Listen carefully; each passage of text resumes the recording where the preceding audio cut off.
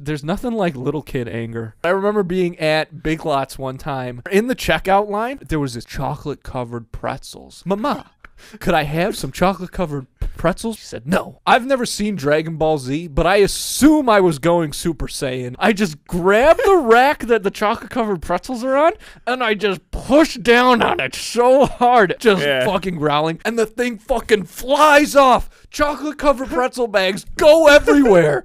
and mom just fucking grabbed me. We just went to the car. I blacked out after that. I assume I was beaten brutally.